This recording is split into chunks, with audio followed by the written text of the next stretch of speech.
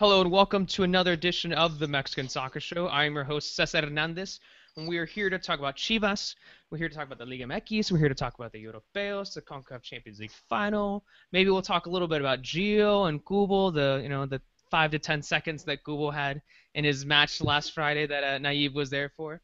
Uh, yeah, but we got plenty to talk about. We got plenty of exciting things to to discuss. Um, but first, let me introduce you to our guest tonight you know, we say guest, but at this point, you guys are almost essentially hosts as well. You guys, I, I should, I should just say introduce friends because it's not like this is your first time on the show. But anywho, we have uh, Tom Marshall over in Guadalajara. Tom, how are you doing? Hopefully your internet is a little bit better today as opposed to last week. yeah, last week there wasn't actually any internet. I don't know how it was working. No, but last week I was just getting off my phone because I don't know. It's not really the, the time or place to discuss it, but um, I had a massive problem. I moved house, and then I had this problem where like none of the internet companies would install in the house, and they all had like a different reason, and I was just like, "What is going on here? Like, what what on earth am I going to do in life?" so. So eventually, I was lucky. Tel- Telmex just rung and said, "Oh, we've we've we've found internet." And I was like, "Sweet, get, it, get it installed." you know what I mean? So uh, so here I am with internet, and you know, you, I don't think you appreciate, you know, how good internet is until you until you haven't got it these days. Actually, I think you said it's not the time or place, but I think people do like to look behind the curtain and like you know see those kinds of I mean for you like those kinds of problems that you have just trying to get internet in uh, in Mexico and Guadalajara. All right, let's go over to Naib Moran, who is not in Mexico City. Actually, he's now back in Houston. I heard that the reason he went back to Houston was because internet problems he out. had last week. Yeah. So he's like, you know what? I I'm gonna be on the show. I just gotta go straight to Houston. So Naib, how you doing, man? Buenas how noches, Cesar, uh, Tom. And yeah, that's that's the reason. I think that's the reason why I'm in Houston. I, I wanted good internet, and I flew from Mexico City, got on a plane, and, and, now I'm here. Um, but but uh, the the the weekend the weekend in general was was great. I think there was a lot of um, interesting events, you know, with Jonathan coming back um, into the starting 11 against Rayo Vallecano. He, he got an assist. Uh, unfortunately, Villarreal lost. And the five game winning streak that America had was cut by Querétaro, who, who has beaten America in the last four league matches, which is quite remarkable that Querétaro sort of has uh, a way of beating America. And of course, the week ended, uh, weekend ended with, with Chivas' win over Atlas. Yeah, most definitely. Uh, definitely an interesting weekend. Some surprise results, especially as you mentioned the uh, the America loss. I don't think anybody in our predictions um, for the weekend actually even put in a draw for that match. So that's uh, definitely a good point. Um, but the first thing we're going to talk about, and I'm going to go to you, Tom, over on this, um, is a Clásico Tapatio. It was a game that everybody was looking forward to. Um, some people were pushing for I mean, not push, but perhaps predicting a little bit of a higher score for Chivas, maybe racking up two or three goals against Atlas. They ended up finding the win. Yeah. It was a narrow win, but it was a dramatic one at the very yeah. last second. And Tom, t- tell us about uh, your experience there and what it was like in the in the stadium, the Estadio Chivas. No, yeah, I mean, it felt beforehand, honestly, like the amount of Chivas fans coming to the stadium with flags and, like, you know, there's one massive, gigantic flag, and, you know, it's probably 80% Chivas fans where, where usually th- these things are more evenly split. So, I don't know, I think before the game, it felt like Chivas fans, this was a, a big moment. Like, it was like almost like coming out of, like, you know, we're, we're, we're, we're back, you know what I mean? We're back, and we're going to beat Atlas today, and we're going to do it in style, and we're going to show that, you know, this team this team is going to be in the playoffs and it's going to challenge for the title. You know, it didn't quite go to plan on the pitch, but at the end of the day, you can't always play really well. And I thought Chivas won ugly. I mean, they really did. They got the job done, and it doesn't matter when you score. You know, second half injury time, Jair Pereira steps up. You know, jumps higher than all the rest of them, and and you know, three points Chivas. I mean, that's the bottom line. Um, you know, aside from that, I thought Atlas actually played pretty well. I think Gustavo Costas realizes his team is limited and realizes that I think he wants to play like kind of open flowing football at Atlas, but they just don't have the players right now. And so I think he was just really pragmatic about kind of sitting back. It was really interesting tactic, although it might be a bit boring. Um, you know, the very minimal space between like the defense and the midfield. You had like Tata Gonzalez and um, Arevalo, who, who, were- who were exceptionally good. I thought they played very, very well, you know, shielding the defence. Um, but then the Atlas were extremely limited going forward. I mean, they, they had very, very little. Um, second half, obviously, Atlas came into it a bit more. Chivas, I thought, I thought they ran out of ideas. I thought that they pushed so much in the first half to try and create openings. And Omar Bravo had a couple of chances, but after that, after in the second half, I didn't think Chivas were that good. And I don't know. I think it was even though there's the three points that it just I think um, take a step back and you say Chivas are a good team right now, but they're not Monterrey. You know what I mean? They're not. Yeah. They're not the complete package yet. Even even though you know obviously it's all positive and, and the confidence running through the players now is unbelievable and, and the play Chivas aren't a bad team, you know. And when you've got that confidence, then then and, and in a league like the Liga MX, which is so so evenly spread, you know, there's there's not massive differences between the the best and the worst team. Then you know anything's possible now for Chivas this season. Yeah, most definitely, especially when you can see like massively surprising results. I mean, you saw them with the Querétaro America match, and uh, that was that was a good point when you brought up that uh, you know, I mean, in the end, there's going to be a lot of momentum for Chivas. All that matters is that they got those three points, but they were pretty close to losing. I mean, Bonchito, he had the he hit the the crossbar. That could have been the game-winning goal. Who Yeah. knows what could have happened if that shot was just a couple inches, just a, a couple inches like uh, lower. Like it could have been an entirely different match for for Chivas. Yeah, I mean, I just thought that like stopped Chivas in the first half, and then after the break, they kind they Atlas gained in confidence, and they were like, wait up, Chivas aren't uh, they're not that good. You know what I mean? Like we we we can go out, we can kind of step out a bit and try and do some damage at the other end, and and they did. Um, so yeah, I mean, I think both teams had the chance. I think if Omar Bravo would have put that in in the his big chance in in the first half, I think it's a different game. I think Chivas would have gone on to score a couple more goals, but you know it, it, it didn't work out that way. And yeah, I mean Chivas, it's pretty amazing to be in Guadalajara and notice and go to the games regularly and notice the different atmosphere now, just not just in the stadium but all around the club, compared to a year ago or six months ago. Because when Chivas is like this and, and playing so well and, and the fans are behind him, Chivas makes sense. You you start to understand what Chivas is as a power in the Mexican game and just what a massive institution it is and, and how much it means to people. I mean, you know, just walking out after the final whistle uh, on Sunday, it was like it was amazing. I mean, you know, you had like thousand thousand people in the concourse just like shouting, screaming. You know, it meant so much to them to win, and and yeah, I think like it's like the Chivas Nation is is almost back after you know two three years or more of it just being really in the doldrums. Oh, yeah, most definitely. Oh, Now and- and- yeah. Yeah, and then and just to add uh, to what Tom and, and what you have said, Cesar, I mean, there, there's there's certain things that are clicking in, in Chivas. You know, for example, I think Cota had a couple of good saves yesterday in, in that match as well, as Ustari had, but I think Cota did did have his moments. And also the defense. I mean, Pereira, Salcedo, Chapo, eh, and Aris Hernandez. I think they're they're one of the best defenses in the league. And I said this last week, but yesterday, you know, it was Raúl Deditos Lopez with the cross and Jair Pereira with the goal. I mean, they were fundamental in that moment. And Deditos López coming off the bench, which I think it's more significant because it it says that all of the club is together. Even the bench players are becoming crucial. And of course, uh, you know, I, I, I like like Tom said, it, Chivas is not Rayados. But the thing that um that gives you or, or the enchanting thing of Liga MX is that a team of Chivas caliber with this momentum that it has shown in the last weeks, it can potentially go far. I mean, it, it- I'm not gonna say that it's a title contender, but if you compare the squad that Chivas has right now with Gullit Peña, Orbelín Pineda, which I think have come about, have come big in the last weeks, you know, it's a it's a really good Mexican team. You know, it's not that not that far off from what Santos was a year ago when they won the Clausura 2015. You know, I, I think there's similarities there. And let's not forget, Chivas went to uh, Rayados' place and they beat them um, three to one. So I mean, it's it's not something that they're not a- not not not aware about. You know. Yeah, so here's something I'm going to ask you Yeah. guys uh, really quickly: is uh, can you guys confidently say that Chivas are going to make it into Liga? Yeah. Yeah, I think I think so. I think it's, but I think they're on 21 points now. You know, if you get to 25, I think you know nine times out of 10 in this league with the format, you're going to make it. So, you know, four points in the last three games. The Chivas have got Pachuca away next weekend, very difficult. But again, it's not it's not impossible. Uh, Dorados de Sinaloa at home, who are already relegated, and we're gonna you know we'll talk about them.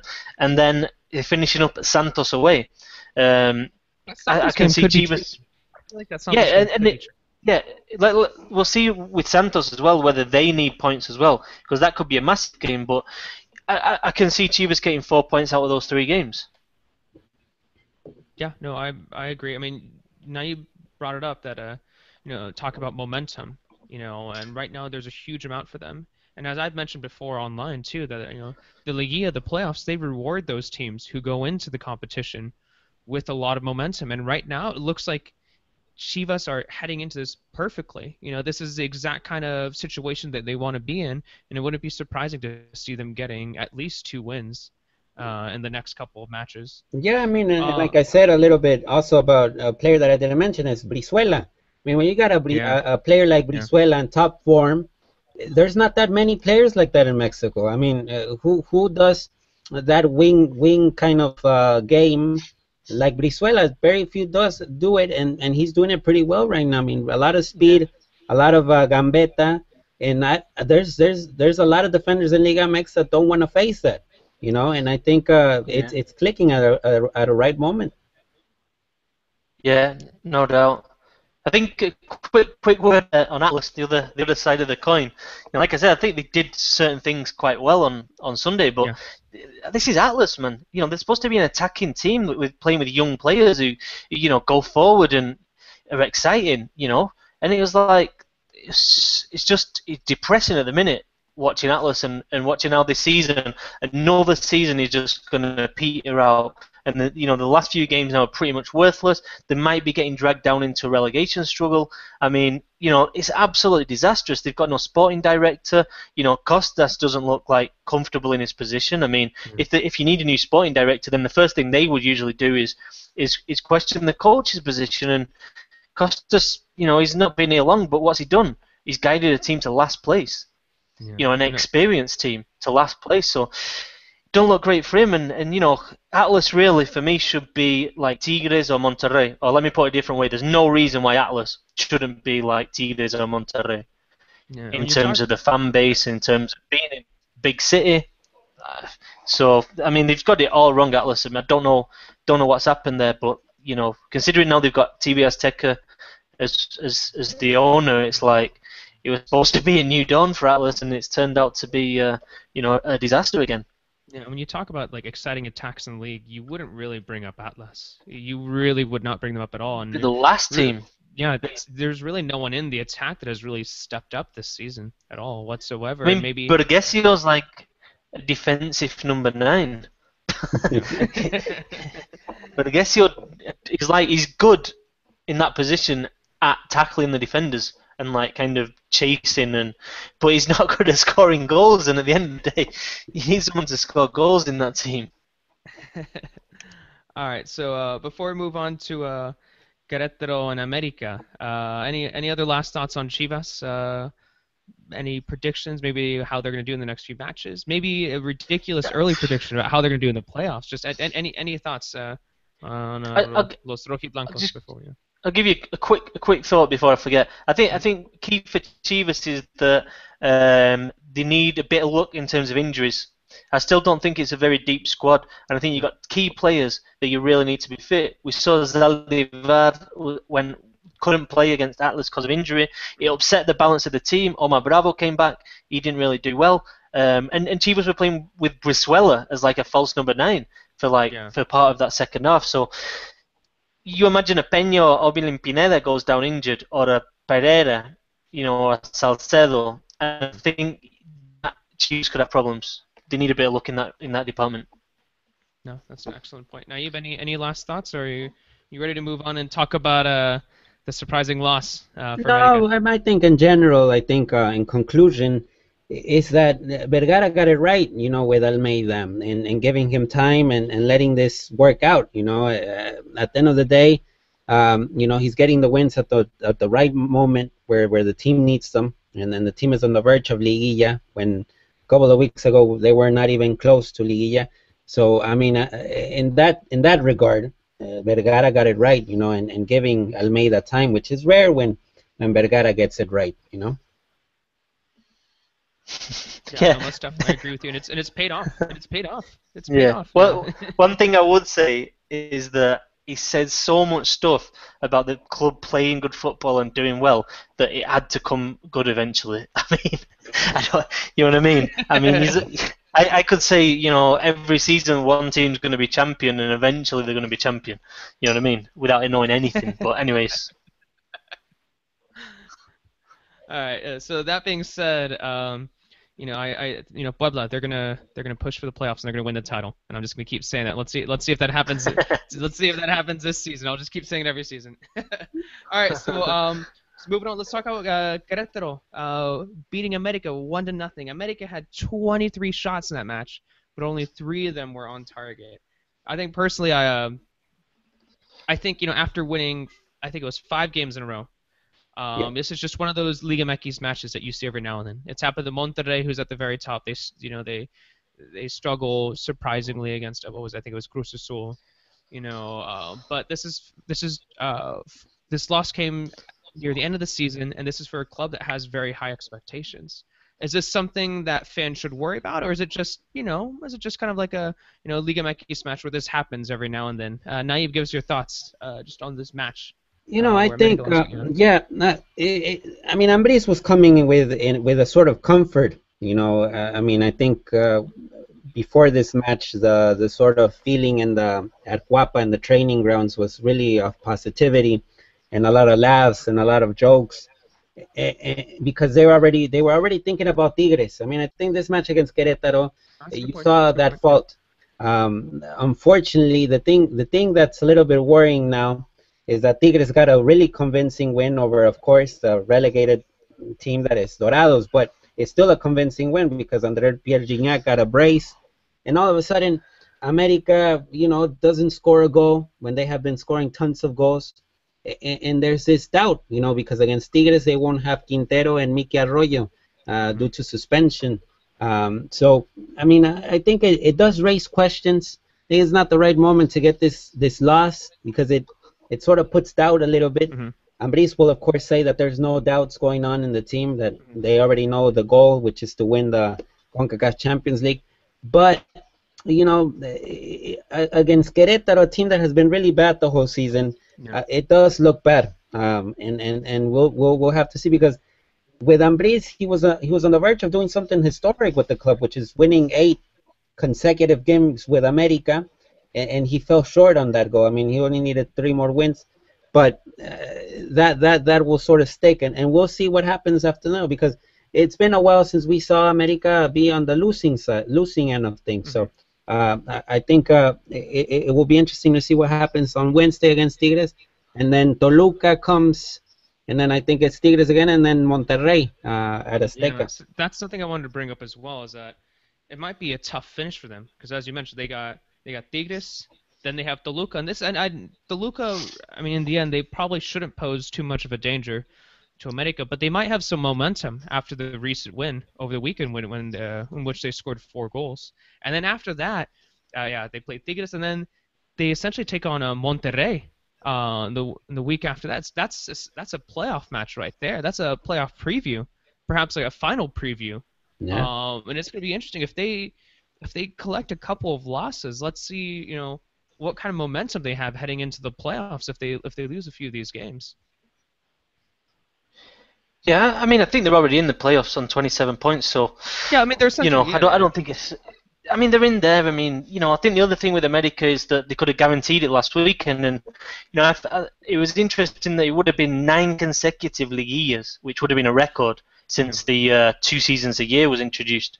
What was it, 97 or something, 96? Yeah. But um, and, and for me, I mean, all right, this game, I think Cesar, you said that it for me it was a blip. You know what I mean? It, it happens. You know, you go away to Querétaro, uh, Vucetich in charge, and, and you can lose those games and the ball won't go in.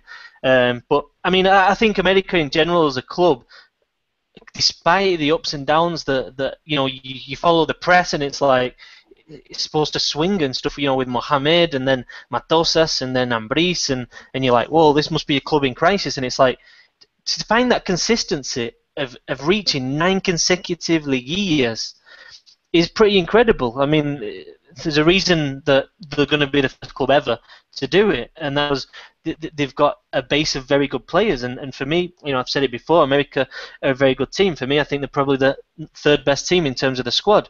So I, I don't have any real doubts about America. Obviously, can they go to Querétaro and lose? Yeah, of course they can. Monterrey can go to Querétaro and lose, but you know, I think they're going to be obviously they're going to be in the playoffs again, and I don't know. He wouldn't back against him unless they unless they're playing Monterrey or Tigres. I'm not backing against America. Um, you know, I think if, even against Pachuca or Leon, I'd back America. Yeah, and even even after that loss, as I mentioned, like you know, I mean, you know, there is there is actually like I think it's statistically speaking, I think Pachuca and America are, are nearly in the playoffs. Like it's going to be very, very difficult for them not to be in the playoffs. Yeah, but and I mean, looking at yeah, looking at Cesar and, and Tom about Ambriz, I think that's that's where the doubt goes. I mean, I think Ambriz mm-hmm. still yeah. hasn't proven uh, if he's ready. You know, and I said this last week with with you know with comparing him to Turco and how he already is ready. You know, when he came to America, he was ready after winning the the championship with Xolos. But that's not the case with Ambriz. And Ambriz has this European experience because he he was assistant to Aguirre in Europe, and I think that sort of makes him a special coach in Mexico. But the titles are not there to sort of solidify that that curriculum, you know, to sort of prove with with trophies that that he's actually a good coach. And I think this is where the challenges come. I mean, I think the fine the CONCACAF champions will be important for him just to see where he's at because he's playing against you know, he's facing a viejo lobo de mar, you know how they say in Mexico, uh, an experienced coach like like Tuca Ferretti. So I think here is his first major test, and we'll see how he does. And unfortunately, America won't have uh, Paul Aguilar in that first leg of the Conca Champions final. Oh, really? I did not actually know that. Yeah. Uh, interesting. Well, yeah, the, the other thing with Ambriz for me is he's lost the big games apart from yeah. that Chivas game, which I thought they were lucky to, to get to get the victory, and he's lost the big games at the Club World Cup. He lost against was it Pumas? Was it Pumas in yeah, the, the semis. Um, in the semis? They lost it. They should they, they capitulated against Pumas. Um, I'm trying to think of the other occasions, but it's, it's slipping from my mind. But you know, that's the question mark about Ambriz. That's the question about about big Sorry, games. What can he do in the big games? And and you know what I would say is that if he can beat Tigres in the Concacaf Champions League, then imagine the momentum. Yeah. You know, then imagine the momentum. He, he'll have time to to rest players in one of the last uh, three games or two games, whatever it is. So he'll have that kind of. Um, he'll be able to, to say, all right, you sit out this game. I want you ready for next week. Um, you know, to, to, to the to the big players. So I don't know. I mean, let, us see. I think it, I think it's going to be the Concacaf Champions League final is going to be fascinating, not just to see who's going to represent Mexico and Concacaf at the um, the World Cup, but also I think it's going to be a real indicator of who's got the momentum out of those two clubs going into the into the playoffs.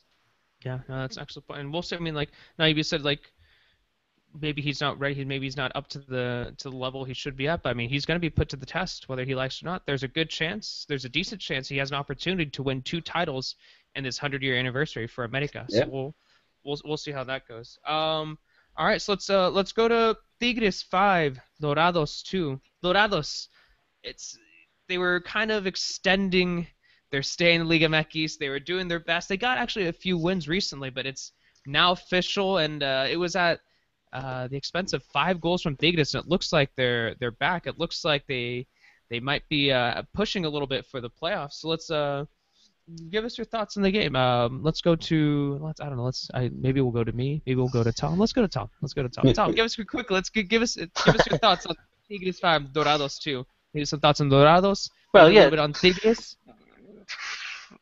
All right, T- Tigres. I think you know obviously you know, the the, the it, it was I mean, they were two one up by the time Meza got red carded. But I mean, from there on, it was pretty much a very easy game. you know, against against probably the worst team in the league. So, you know, it was, it was an in, in to get a couple, you know, Damm to get a couple as well because I think he's not been quite as good these last couple of months, and Sobis as well getting on the score sheet. You know that's good for him. Obviously, they needed that. We expected you fully expect Tigres at home to, to go out and uh, do a job on Dorados. Um, yeah, I mean the only thing I'd say about Dorados is well two things. Firstly, I don't think they've ever looked at any stage since they've got promoted like they belong in the league. Like they've ne- they've not even pushed Chivas or Morelia in the You wouldn't say- relegation stage. even in recent, you wouldn't even say in recent weeks. So they, I mean, they, they got three victories. They only had one loss in their last six matches. I thought they, I thought it was, I thought it was too little, too late. I thought that, but Yeah, but I mean, they're already yeah. they're- I mean, they're already down there. What I'm saying, is, look how many points the last two seasons, and then they're not equipped to stay in the league. I don't think it was a, a very even a very serious attempt to stay in. Um, I don't know. I don't want to like kind of go crazy on um, on what's it called like um, wild uh, accusations or whatever.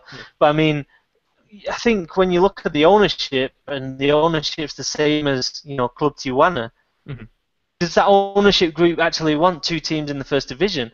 Because I, I, I think if I don't know, I've, I've no idea. I've not spoke to anybody, but I think they were they, they could have been quite happy with with Xolos, you know, in in the top division, and then they had that deal with Dorados would send the players, and the the Xolos young players would go to Sinaloa, get the experience, and then head back to Tijuana. So I don't know if they really wanted two teams in the league. I mean, let's what's happening with Atlas and Morelia. You know, Mhm. two teams that next season are likely to be fighting relegation again. You know, both owned by TV Azteca. It's, it's difficult to maintain two teams in the top division. Obviously, Pachuca and Leon, but look at the investment in Pachuca. Look at the investment in Leon Yeah. over those two teams. So they've got they've had huge money behind them, and I don't know. I think I think I mean look at the team. I mean Nestor Vidrios, Severo Meza, Luis Michel, Fernando Arce. I mean these are players that they weren't really wanted at the clubs they were at. I mean buying players and thinking this is this player is brilliant. He's going to absolutely shine in this league. It's like it's like they were knocking on the door saying. Uh, what have you got for us? You know what I mean? Have you got any any spares for I us? mean, that- you know, and- and I exactly think it is. You're not gonna stay up. players, yeah. You're not going to stay up like that. I'm sorry. It's the, the league's better than that. Yeah. Naib, your thoughts on uh on their on their relegation on uh or, on, or perhaps Tigres? Uh, on Yeah, the- I mean, I think, uh, yeah, the last two teams that have uh, gotten uh, promoted have been Leones Negros and, and Dorados. You know, I, I think um, in the marketing sense, Leones Negros did wonderful. Dorados didn't even do that. Dorados was just invisible, invisible the, during the year they were in, in Liga MX. Leones Negros left a brand. I think everyone, you know, I, I'm always impressed of the number of Leones Negros jerseys that I see in Mexico City. And I'm Those like, how- jerseys how are gorgeous, so that's why. you know, that, that, they did also great YouTube videos with Fidel Martinez, Marc Rosas, Hector Reynoso. So they left a good brand. Dorados was not even that. And, and, and I'm not justifying Leones Negros, but Leones Negros, you know, they brought in uh, uh, three three Ecuadorians and everything, and, and it sort of wanted to click.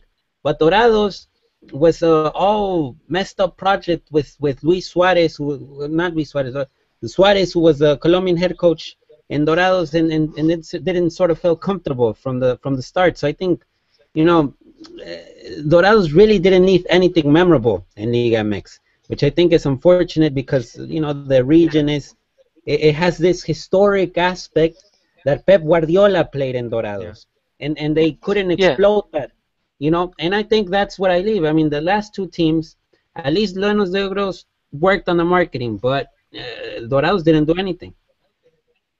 Yeah, the, the other thing, yeah, like you said about the region, it's like, you know, it's, it's arguably the best region for sport in all of Mexico. You look at the amount of players that come out from Sinaloa in, you know, comparatively small state. You look at the boxing scene over there. You know what I mean? And it's like Sinaloa deserves a team, but yeah, I, I just don't think they were, they, they weren't, they weren't, they weren't ready, were they? They weren't ready. I think it took them by surprise. Yeah, most definitely. I mean, uh, I think we would. I don't know if you guys agree, but I think we could. Uh, most would agree that. Uh, I mean, that, that obviously the the relegation system isn't exactly fair to those teams either. You know, where uh, you know, no. yeah, it's, it's, it's, it's a little bit Yes. difficult. But this, at the same time, though, like that being said, I mean, 90% of the games you watch from Dorados, I mean, you look at them. I mean, it, and you just think, you know, this isn't a first division team. This isn't Yeah. someone who should be playing. Well- this is yeah. Yeah, the other thing was the games weren't on. The home games weren't on in Mexico, or I, at least I couldn't get them. I've got like the obviously got the package where you get all the games, and uh, but Dorados is, Dorados games weren't on. You had to have a, sep, a, some kind of cable provider, or you know what I mean. So just that fact, I mean, they weren't even being showed shown on TV. I mean, No. could you watch them, Naib, or not? Well, I watched them online. I, I watched them yeah, online. Oh, you watched them online. Yeah, I watched them online. Well, yeah, I- you I can usually- watch them online. I used to have too much trouble. I don't think- I don't think that's- I don't think that's the idea of TV deals, but you know what I mean. All right, so really quickly, just uh, it's almost been about uh, 37 minutes to talk about Liga MX. Uh, let's talk. Uh, let's talk about Morelia for a second. I think uh, you know there's a lot of talk about the momentum Chivas has had, the consecutive victories, blah blah blah. But I feel like Morelia isn't getting the same love. I think Morelia. I mean, they've been doing really well. I think they've had it's either three or four straight wins. They're in sixth place, and I talked about this on Twitter, but their last three games are going to be against Dorados, who we were just talking about, Santos Laguna, and Veracruz. There, there's a good chance that this team is going to be finishing in the and going into Liguilla. You know, what are your guys' thoughts? I mean, especially after that one nothing win over Pachuca, that's pretty significant. You know, let's you know, let's let's talk about Morelia for a little bit. Uh, Tom, what are your thoughts? Surprising, Uh, surprising. I mean, I, I'm surprised that I look again. I look at the Morelia team, and not it doesn't get me very excited. You know what I mean? I don't look at it and think, wow. You know, again, it's one of those teams where, you know, like uh, Pablo Velasquez up front. You know, obviously he's a good player, but it's not like, wow, I'm going to go and watch Pablo Velasquez. You know what I mean? You know, Bellerano has been around. Um, you know, uh, Perez from Atlas, Edipin from Atlas as well, who Atlas rejects. You know what I mean? And you look at them, um, you look at you know where Atlas now are, now. But I think I think you got to give a lot of credit to um, Ojitos Meza. I mean, he's he's got his team together. They weren't doing that good, that well, sorry, a couple of months ago, but he's, he's he's got it together. And the one thing I'd say is that Morelia are ahead of a lot better teams. There are a lot of better teams than Morelia below them in the table right now, and that are out of the playoffs running. So you have to give credit to the manager there. I think he's done a, you know, an exceptional job of getting the group together. And uh, you know, like you said, Cesar, I think you know one, you know, one win out of tho- those last three games, you know, a winner and a draw, and they're pretty much definitely through. So, what can you say? I'd, I'd, I'd say just quickly. Santos Laguna as well. I, I, I kind of fit him into the same category in in terms of I don't know. They've kind of like just come just there. You know what I mean? They're just there in the playoffs, and it's like, wow, how, how did they get there? You know what I mean? And then you've got the likes of Cruz Azul and uh, you know Pumas and Tigres, Toluca, who, who are all behind him, and, and you know fair play to them. I mean, they, they, they're getting results, not conceding a lot of goals, and once they're in the playoffs, you never know, do you? But I don't know. I I think you know perhaps Morelia. You look at the last few teams they played. Um, apart, apart from Pachuca, obviously that's a big win at home. But you know, Atlas, Puebla, and Chiapas were the were the past three games. So have they have they got it to beat the big teams? I don't know. But if you're in the playoffs, then you've got you've got every chance. You know what I mean? Yeah, most definitely. Naib, really quickly, uh, your thoughts on Morelia uh, in Yeah, general? I mean, I, I think it's uh, the, the the win over over Pachuca was surprising. I mean, I'm really impressed with the goalkeeper actually, with Carlos Felipe Rodriguez, who I think he's 27, somewhere around there, uh, Mexican goalkeeper. He's got top saves. I mean, I think Tom was there when when he blocked um, a PK by uh, by Negrito Medina, and and that was crucial in that match. And also, you know, against Pachuca, he got I'd say three good saves against Pachuca. So I mean, I think that's been the key. And about the point that Tom said about Santos and Morelia sort of being in the same group, I think it's the home record. I think but uh, Santos and Morelia have gotten important home wins, and I think that's what has them in, in the in the liguilla zone basically. You know, the, the teams that haven't been able to sort of make their home, uh, uh, uh, you know, a place that where they can get wins are the teams that are out basically. And so if you were able to get draws or wins at home, I think those two, Morelia and Santos, uh, exemplify it perfectly because they've gotten uh, key wins over there uh, at their places. And I guess that happens most seasons too. You know, at least two of those sixth, seventh, or eighth place teams. you kind of look at them, you're like, what are, you- what are you doing here? Like, what, well, how did how did you qualify? Uh, How, I have no. It's Chiapas and Veracruz, wasn't it? Last Yeah, yeah. yeah. I mean, I think that happens most seasons, but we'll see. Uh, I mean, it looks like Morelia is gonna. It looks like they're gonna be in there. I, I mean, if I don't know if they could really compete with the best, but as we mentioned before, Yeah, Liga MX. I mean, if you compare the momentums uh, with between Chivas and Morelia, they're totally different. I mean, they're they they're both with four for with four wins, consecutive wins, but their ideas. I mean, the flow of ideas are really different. You know, Morelia is winning in the last minute with nasty goals, while Chivas is winning games, elaborating great goals. You know, by Chofis, Brizuela, Gullit. It's a different style and it's uh, at the end of the day, it's just not going to work. I mean, if Morelia plays Monterrey in the Liguilla, Monterrey is probably going to win that series five to one, for example. just, just, just exact. Definitely five one. All right, uh, let's, let's move on from Liga MX. We have more stuff to talk about. We have a little, little over around 20 minutes left, but really quickly go through the rest of the scores. Um, Tijuana lost to Rayados one to two. Um, Toluca beat Veracruz four to two. Cruz Azul lost to Santos uh, one nothing. Leon beat Puebla four to one. And then we got uh, Pumas who beat who beat Chiapas two to one. So before we go over to quickly talk about the Europeos, any last thoughts on Liga MX on any of those scores? Uh, um, before we, uh, as I mentioned, going over to the Europeos. Um, I'd say you know Tijuana's situation now is becoming more and more serious. I mean, I think they're really struggling now, um, and the relegation is becoming a potential issue next season. So, so you're, you're up there in San Diego, Tijuana. You you know more about it, but I think I think I don't know. I, I've, I think they've lost that idea from where they went with the championship team to where they are now. Got that excitement about them anymore. Um, yeah, I mean, I don't know. And then Leon, I think you know, Leon are pretty much in the playoffs now. I think they're worth worth pointing out that um, you know, Tena. It looks like they're enjoying now playing under Tena. I think William Yarbrough, got the goalkeeper, was saying the defensive organisation has been you know really backed up since Tena came in. And then the other one I think is worth pointing out is um, Cruz Azul.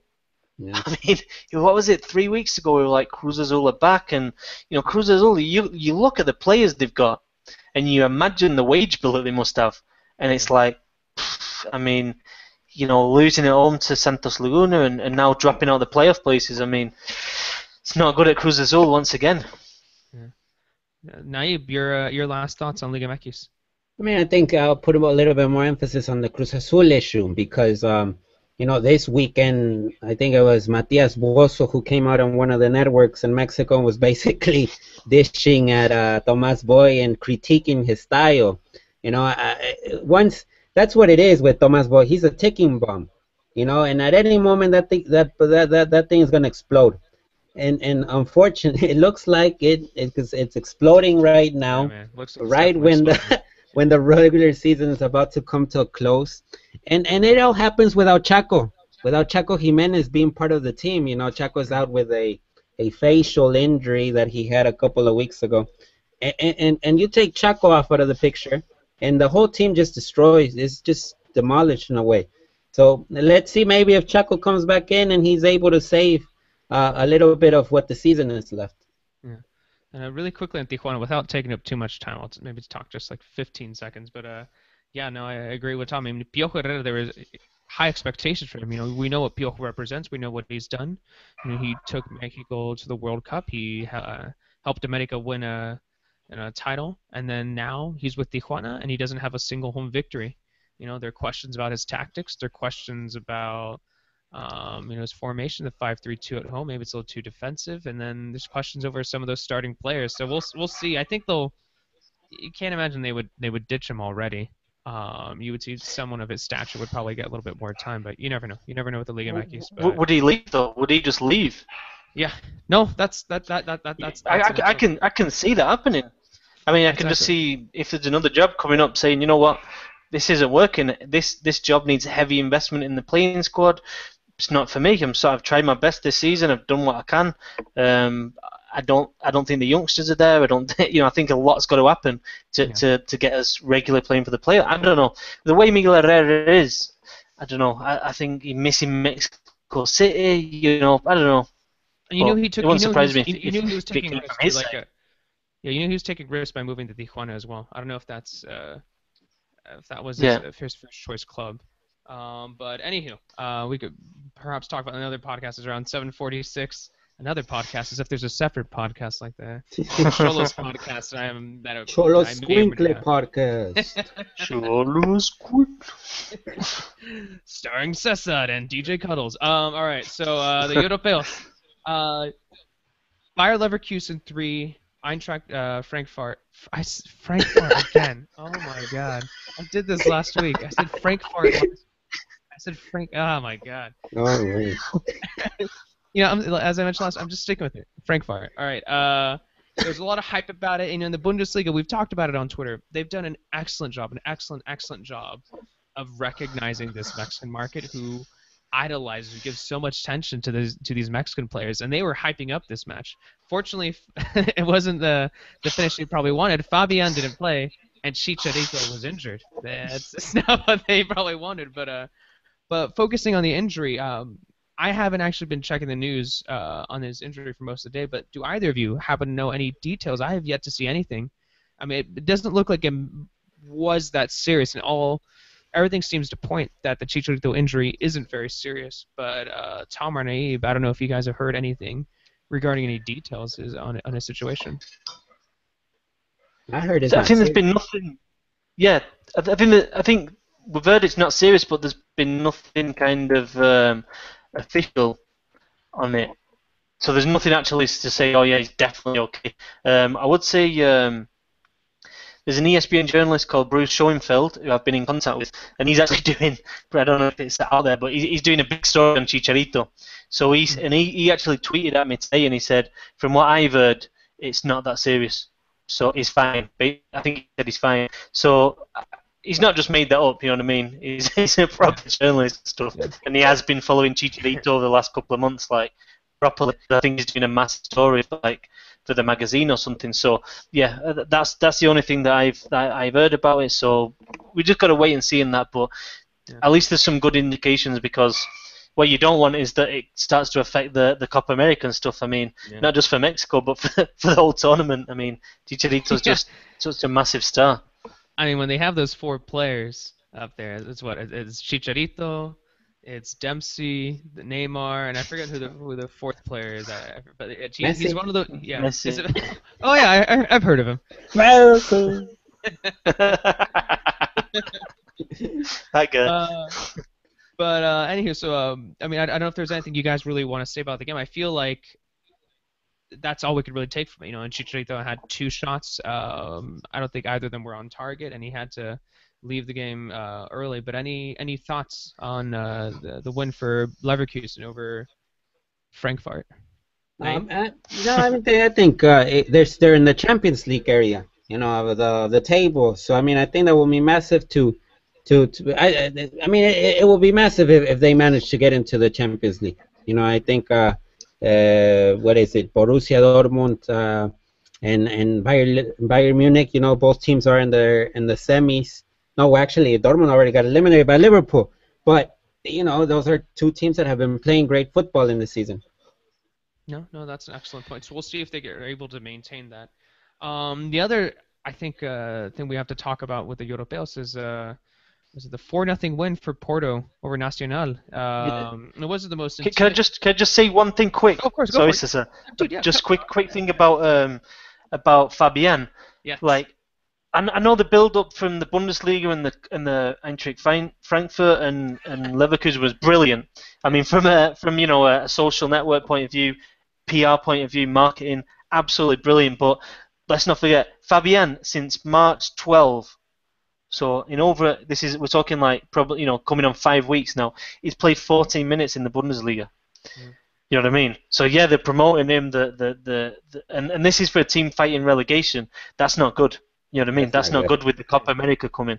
It doesn't look like he's going to get minutes. And you know, I think I think Fabian's place now in the Copa America squad is on is in doubt because he has to prove himself between now and then. He's not one of those players who is automatically going to be in there. So let's have a look. It's not going to plan for Marco Fabian in Germany. No, that's that's a that's an excellent point. I mean, you, you, you look at the last roster, and if you were to have to take a few of those players out, Fabian would probably be one of those first options that you would take from uh, from the last uh, uh, players that you saw on the last roster. So no, that's that's an excellent point. Um, so yeah, so Porto for uh, Nacional zero. Um, I think a couple of key things to point out here was, uh, you know, Hector Herrera got a goal, Tecatito got two assists, but Miguel Layun was on the bench the whole time. I mean, you could say that he was perhaps getting rested, or maybe uh, there's some worries over his uh, recent performances. Um, Naib, your thoughts on uh, on Layun uh, getting benched in the last game, or just uh, in the game in general? No, we'll, we'll have to follow that. We'll, we'll, definitely have to follow that. I, I don't know if it's because of uh, you know a, a drop in form. I don't think it has, but you never know. I, I think it was Uh, just one bad game. I, I, I I think I think it was might have been literally one bad. Yeah, I mean, and Porto has been sort of chaotic this whole year with, with you know early elimination, change of coaches, uh, really not battling for the league title. Uh, but overall, I mean, uh, looking at the two assists from Tecatito, I think that's good good news. Hector Herrera scoring goals, and um, you know, a lot of the things that are going on right now with Mexican footballers in Europe in general, it, it, it, it's just however they perform, I think that that should open the doors for other players to to arrive in Europe. You know, we'll see. We'll see if it, it will be a Pachuca player. It likely will be a Pachuca player. Will it be a Chivas player? You know, that are they're they're they're in top shape right now. So I mean, it, it always helps that that for the most part they're always doing a a good job in Europe every weekend. You know. Yeah, no, excellent point, excellent point. So, uh, just uh, rounding up just the Europeos, um, Hector Moreno, he played 90 minutes in PSV's 3-0 win over Roda. Uh, Reyes and Vela, they played 90 minutes in Real Sociedad's 2-1 loss to Eibar. Alan Pulido didn't have uh, any minutes. I think they just put a bunch of uh, backup players in Olympiacos' uh, last game of the season. Yeah, the Greek, the Greek, uh, by the way, the Greek league is now officially over. Um, Gudiño, he let in, uh, Raul Gudiño, he let in a uh, four goals in Madeira's uh, three to four loss.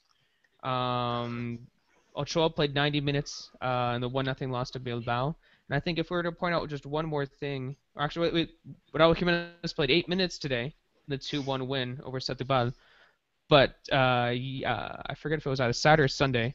Uh, yeah, one more thing to point out was that John Dos Santos got his first start from his uh, from his in- after his injury, and uh, got an assist in the 2-1 loss uh, to Rayo Vallecano. Um, any any yeah, thoughts? let's let's Yeah. let's let's let's hope he kicks on Jonathan Dos Santos. Now I feel like he's been so unlucky with injuries at like really bad times, and he like you know you go back to the Gold Cup last summer, and he, he seemed to be like really established himself as a, a national teamer, and, and under Juan Carlos Osorio, he's I think he's been injured for for both the call ups so far. Mhm. So obviously he's got I think he's he's got the ability to become a regular starter. I think Osorio if if he wants that type of player as, as a holding midfielder, then you know Dos Santos is. A, I don't know. I'm looking forward to seeing how Osorio would use him if if Dos Santos is, uh, you know, is is fit and playing playing because at the end of the day he's playing a top club. I mean Villarreal have been have been brilliant. You know, absolutely brilliant this season. And you know, you look at the budget compared to some of the, you know, the big the big especially the big two, but even the big three in Spain, and you look at them there, fourth place. You know, they look like they've got that. I mean, the, the six points off uh, Athletic. So, I mean, this has been a great season for Villarreal, and, and I think it's so good for Jonathan Dos Santos that he's back from injury and he's back starting. You know what I mean? I think that's it, it shows a lot about how much uh, faith the, the manager's got in him. Yeah, John, like Jonathan, I think he's he's one of my favorite players to watch, and I he I think he proved in the in the in the Gold Cup. I think he was a second best player after Guardado. That you know he is he is at that level where he should be a starter in the national team. I personally believe that, and I, I really do uh, hope that he is uh, healthy by the time the Copa America um, comes around. Yeah, I mean, I Um, think I think uh, yeah, he's. He, I mean, uh, look, th- think about it. I mean, it's interesting that position that that uh, that Tom brought up. I mean, because you got Jesus Molina, uh, then you got Gallito, and then you got Jonathan. But uh, Gallito is not it's not the Gallito from two years ago, basically. I think that's the truth, and that's Yeah. what we're seeing a little bit there in, in Leon. Um, and I think in this show we've talked a lot about momentum which player will arrive into the into that call up in May, uh, late May, early June, uh, in best shape, you know. And I think that's where Osorio will have to decide uh, what player he want, which player he wants in that position. And I think if Jonathan reaches the Europa League final with Villarreal after defeating Liverpool in the semifinals, well, I think uh, he he will be in great shape to Yeah. to to take that role. No, I agree. And just really quickly on on Jonah, just uh, I think he's also a versatile player. I mean, he doesn't have to play in that defensive mid position. He could potentially be in one of the attacking mid positions as well. Yeah. You could move over Guardado as that defensive mid position, and I think uh, I think Molina and Gallito are maybe a little bit more similar than Jonathan to, in comparison to those other two players. So you're gonna have to drop one of those players. And I think Jonah, just because of versatility and with the momentum, I think he'd be a, a key person to have. But um, Yeah, I think I think I think But anyway, Gallito Vasquez has um, been. I think Gallito's been a bit affected by. I think Leon are mostly playing now with two contenciones, whereas before it was that three midfielders. He was the he was kind of the pivot, and then the other two were kind of more attacking. So, you know, and you'd assume that Osorio is only going to play with one holding midfielder. Um, and I think Gallito, is, I think he's just like lost his kind of sense of what he is in the team with that. But yeah, the other, the other option for the holding midfield role, and I, I think it's something that Osorio is going to use because obviously we've seen that he's going to change change uh, formations and players from game to game depending on the to the um, the opposition. But I think Diego Reyes as well. I think I think sometimes he wants a bigger player in there, or even Rafa Marquez. I think he wants somebody who can kind of drop back into the defence and become a centre back and have the height and the, the physique to kind of to mix it as well. You know, uh, that, that, uh, Tom brought up Rafa Marquez right now, and, and he's seen Rafa Marquez the most, I think, out of the three of us. Uh, Tom, do you think, considering Jair Pereira's form from Chivas and, and, and, and his ability in the center back position, do we think that Rafa should be in the Copa Centenario squad? Yeah, I mean, uh, uh, on his form, no. I thought he was actually pretty decent on uh, on Sunday. I mean, some of his tackles were were a bit X-rated, but you know, I, th- I thought he did all right. But I, I don't think I don't think you can compare him to Pereira. I mean, if you pick Rafa Marquez, it's, it's obvious what, what you you know that defensive solidity. I mean, it's I think I think Osorio will use him in a back three, or he would use him as a, a defensive midfielder. I don't think he's going to put him in the line of four, Rafa Marquez with Moreno, for example. At, at, this stage of his career, he, he can't. You need more protection than that, and Moreno's not the quickest either. So you know, I, th- I think that's that's how you would use Rafa Marquez. You'd you'd use him as like a kind of defender that that, that starts the attacks, and, and probably against lesser teams, to be honest. Um, but has he done enough this season to deserve being in the in the Copa America? No, I mean, you can't argue that. You know what I mean? It's it's, it's a bit, you couldn't argue that position. But Rafa Marquez has, has got the um, you know obviously the history and, Osorio for Osorio's style of play. You know, playing with the ball at your feet and, and stuff like and playing out the back. I think that that's why he's he's likely to be in. I mean, I think we're yet to see that that next Mexican player that, that can play out the back. I mean, you know, obviously Reyes has got a certain amount of that ability, but it's nowhere near Rafa Marquez. You know, you know, maybe Cesar Montes in the future may have that. I think Salcedo has a degree of that, but again, it's no Rafa Marquez. Yeah. And I think there's some excellent defensive options, but yeah, no, I don't know if they're really at that level just yet where they could uh, become the next Rafa Marquez. All right, just to wrap things up, uh, let's quickly talk about uh, Giovanni Dos Santos, uh, who actually scored two goals. Naib, you were at the at the game last week against the Houston Dynamo. Uh, tell us a little bit about Gio. Uh, is he back? Is he going to be? Is he going to be scoring uh, regularly now after uh, getting those goals against the Dynamo? Yeah, I mean, I think it's excellent news for him. You know, I think it's uh, he he he's gotten a lot of confidence. I mean, it was interesting to hear Steven Gerrard speak about Giovanni's game after the game. Uh, you know, saying how he had worked his his socks off during the week, and and, and he saw and we saw the fruits of it on the pitch on Friday. Uh, you know, uh, uh, the performance that Gio had on Friday against the Dynamo is the type of performance he should have every weekend. You know, being influential on the ball, you know, sending in crosses with his left foot, taking shots, taking risks. You know, because that's what's all, what it's all about. You know, in the MLS, you know, a player of his caliber should take as many risks as he can, and and and, the only way that he's gonna have those chances is if he has the ball. And in that game against the Dynamo, the Galaxy had the ball the, for practically the whole game. And I think uh, that's going to be key, you know, looking ahead. Uh, I think the goals are important, uh, but also uh, the support that he receives from the club, from the coaches, from from the media, media people, from the players. You know, every everyone loves Giovanni and the Galaxy, and and and, hopefully that sort of means that he will give more performances like he did on Friday. Yeah, uh, let's see what happens because I feel like if if Gio isn't scoring, um, he gets a lot of criticism. A lot of uh, a lot of us Mexico fans uh, give him a hard time and say, "Oh, you're an MLS, blah blah blah." You know, you're not scoring. You should be in the national team. But I feel like like sometimes we talked about this before we started the podcast. Even if Gio is scoring and providing assist, people still say the same thing, like, "Ah, whatever. It's just MLS. It's not the same level." Blah blah blah. You you you should be playing in a in a different league. So. uh we'll see if he can continue this. And what I, who I do feel bad for is, uh, I mean, while we're criticizing Gio, uh, you know, whether he's scoring or not, you know, you see Cubo, who can't get a starting role for the Dynamo, a Dynamo squad who is before this game has done all right without him, you know, at least scoring. And like, you know, you, you wonder what this means for him. You wonder what this means for him, at least for his Olympic career. You know, maybe someone's thinking, you know, like maybe we shouldn't be starting him this summer if he can't get minutes in MLS. We should probably get a, an older striker. And as I mentioned, you know, maybe someone like Oribe Peralta, you know, he he could be back returning to the Olympic squad. Yeah, I mean, we'll yeah. see. We'll, we'll, we'll, uh, Tom, you can you can share your opinion about this one. No, I mean, I, I, I think it's a problem area for the Olympic team. I mean, you know, Marco Bueno hasn't exactly done great things recently.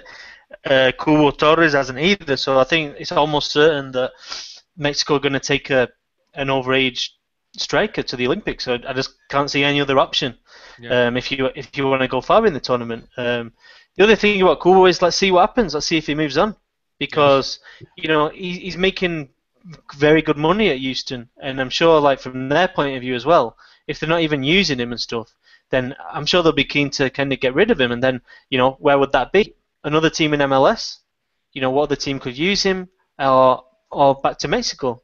I mean, you know, you look at Chivas yesterday, and Omar Bravo came off, and and Brizuela was playing as a centre forward, and it's like, Cubo, Bravo, Bravo's 36, Zaldivar's there. You know, I don't know. I mean, it would seem to be a good fit. yeah, I mean, I think it's it's interesting what you bring up, Tom. Uh, even Fierro is the striker in the U23 that is not playing. Yeah. You know, so I mean, it's really worrying in that sense. And today, Potro Gutierrez spoke at a Centro de Alto Rendimiento and, and openly stated the fact that it would be nice to have Tecatito Corona in this Olympic team because he fits the, the bill, you know. Uh, imagine having Tecatito on that team. It brings more goals to a team, but from the wings, it doesn't have that central striker. And of course, yeah. the options of Chicharito, Peralta uh, come to mind, you know.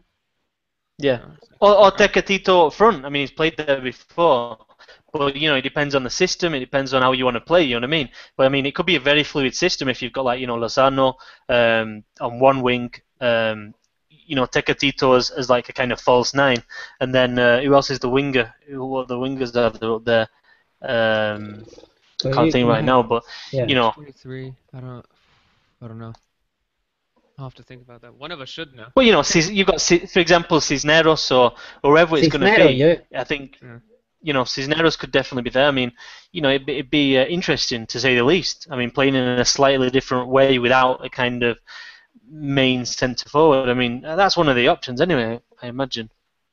Yeah, well, I'm sure we could talk about this for a while, but uh, we'll have to save this for the for the U23 podcast that I'm starting. It's in collaboration with Buena Podcast. It's to be 50-50. We talk about the Olympics, then we talk about uh, Xolos. All right. So to wrap up the show, let's talk about an exciting upcoming match. I say exciting, but honestly, I'm I'm, I'm not that excited about it. It's the it's it's the Concacaf Champions League final, and I should be excited about. It. This is just me just me talking personally for a second. I don't know why I'm not that excited for it. Maybe because I did want to see an MLS side, and I like that animosity and the American fans getting angry at the Mexican fans. But this Wednesday, we got Tigres versus America, and then they face off again next Wednesday uh, in the Estadio Azteca for the Concacaf Champions League uh, title.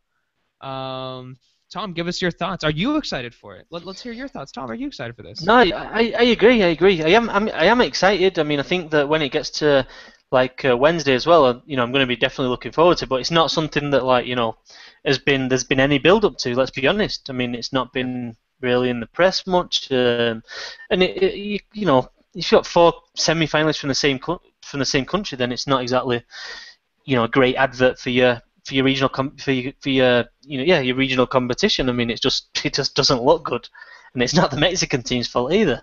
Um, that they're just just on a slightly higher level than the rest of the CONCACAF region. But yeah, I, I mean, honestly, this game I think flip a coin. Honestly, can't split them. Can't split them. Honestly, I just I, th- I don't think they're going to be very exciting games. To be honest, I don't think Tigres are going to want to, you know, go out there. I mean, they never do. So why would they against America? Um, and I think America under Ambriz have been pretty cautious in big games as well. So I don't know. Honestly, flip, flip a coin. I mean, you know, I think Tigres have got Gignac to thank for uh, for getting through to the final because of what he did against Querétaro. So, you know, that may maybe make a difference. I mean, I think I'm sure you know what Naib said.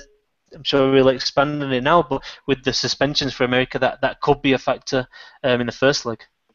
Naib, your thoughts on uh, the first leg this Wednesday? You know, I just uh, when I see this final, uh, I mean, I, I, I have a feeling Tigres and America is becoming a big rivalry in Mexico, because uh, Tigres is doing stuff that America used to do. You know, put the big bucks on the table and bring someone like Gignac. That's something America used to do, but America hasn't done it as of late. America brings players that are made and done in Liga MX, like Oribe Peralta and Darwin Quintero they don't bring a Gignac from Europe and, and all of a sudden become this strong strong team. And and one has to admit that Tigres' uh, fanaticada or crowd is one of the best in Mexico. Yeah. So it, it, it, it's something new that is developing in the north of, of Mexico, and it's a rivalry that, of course, Americanistas are going to be like, no, that's not a rivalry. A rivalry is with Chivas. But the significance of the big bucks and the ability to bring the best players in the in the region in South America and even from Europe, I think adds a, a lot of spice to this game. And let's be honest, Tigres has the coach, and America has a, a student, you know, basically a young coach that is starting up his career as a as a good coach in Mexico, but it can't compare to Tuca. And in the last years, well, in the last in the last months, it has been all about Tuca. The CONCACAF Cup with El Tri, the 2015 Apertura with Tigres, and why not the CONCACAF Champions League? You know, I think I think uh, Tuca is living a great moment over there in Monterrey. Yeah, no, we'll see how that goes. And I think uh, I usually don't like to watch Tigres that much. I mean, I think personally, like aesthetically speaking, you know, it's aesthetically speaking, it's just like it's it, it's just there's heavy amount of possession, and it's not that exciting. They take their time, but I will say it was.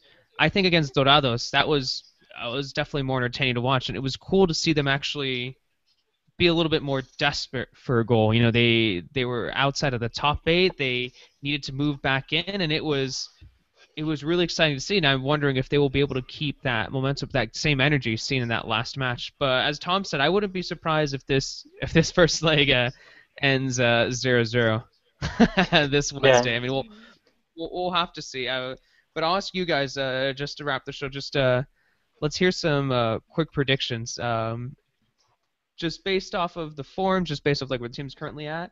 I'm not asking just for the first leg, but who is going to win the Champions League? Is it going to be Tigres? Is it going to be America? Tom.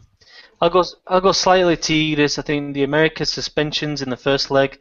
Um, I think that mixed combined with Ambriz's kind of penchant for for not doing so well in the big games. Um, you know, America's disciplinary record has been awful of late, especially in the big games. So, yeah, I'll, I'll, I'll go with Tigres, but like I said, I don't think there's there's very little between these two teams.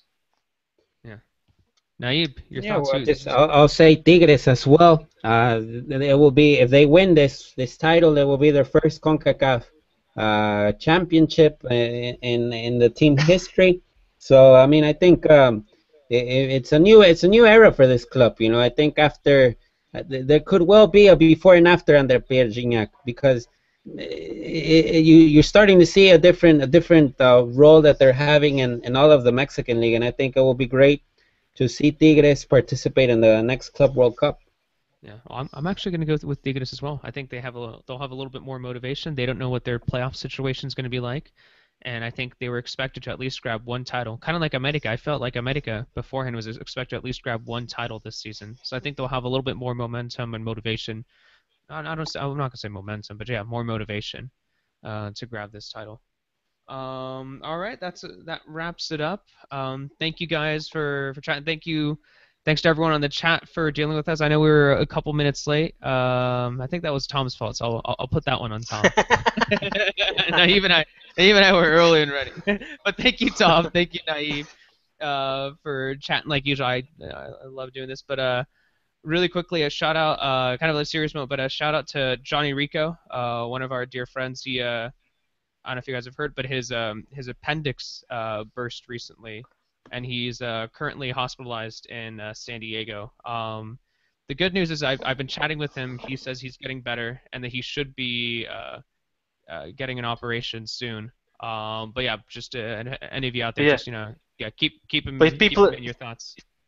If people are on Twitter, you can write to him at Johnny Rico one N and give it, send him a few messages. I'm sure he'll he'll love it. And, and you know if he he's in there in hospital now, so yeah, I'm sure he'll uh, you know you know you know what Johnny's like on Twitter. I'm sure he'll be uh, he'll be he'll be busy on there answering answering you if you do get to speak to him.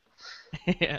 So Johnny, if you're listening, uh, best of luck, man. You know, seriously, best of luck to you. And uh, I'll probably be visiting with you in the next couple days. I've been I've been talking to him, trying to figure out when I can visit him as well. So, all right. Uh, once again, thanks to you guys. Thank you, thank you, Naib. Thank you, Tom. Uh, I'll actually I'll, I'll go to you guys. Well, one more any one more time. Any any last thoughts on anything? Liga MX, national team, soccer, food, housing, uh, politics. Just messing with you. Any any any last thoughts?